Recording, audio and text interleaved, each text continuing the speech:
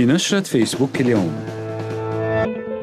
أكثر صفحات فيسبوك العربية نشاطا اليوم كانت الصفحات التونسية مع الاحتجاجات التي اندلعت أمس في مدينة القصرين التونسية تحت عنوان الفقر والبطالة وقد نشر المحتجون رسالة مصورة لهم عبر فيسبوك يطالبون فيها بفرص عمل.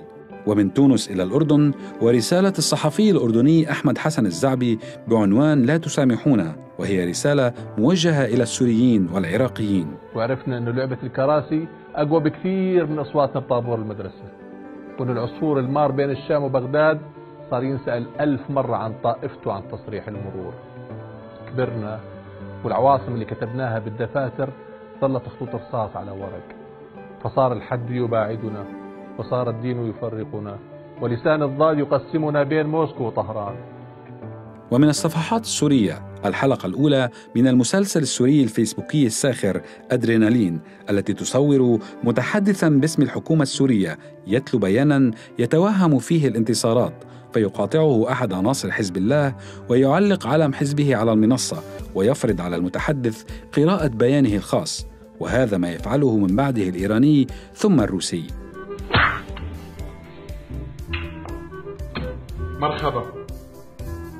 سوريا امتدادنا الاستراتيجي تخمنا قواعدنا العسكرية والمياه الدافئة. لا شيء في العالم أهم من مصلحة روسيا. خرشوا وأخيرا زفت لي الطريق. أغنية شبابية أطلقت اليوم واشتعلت بها صفحات فيسبوك اللبناني. تصور بطريقة ساخرة ذكية ارتهان اللبنانيين لزعماء فقط لمجرد أنهم قاموا بتعبيد طريق خاص لهم دون غيرهم. وذلك لكسب أصواتهم الانتخابية.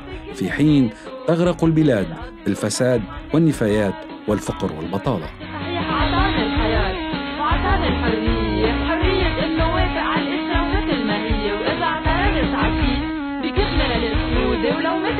بديله ما تعرف بوجوده بس. عم نحبه مع كل هالمشاكل. لأن بالمقابل لأن لأن بالمقابل